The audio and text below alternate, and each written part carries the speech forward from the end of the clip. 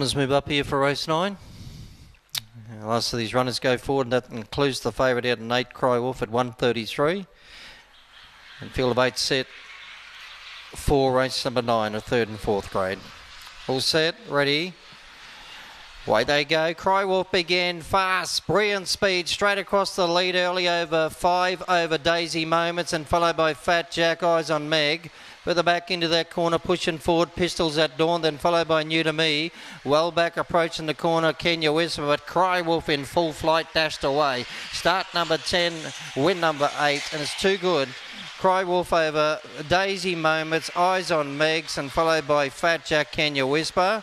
Further back we had New to Me, well back there was Pistols at Dawn, and Free at Night.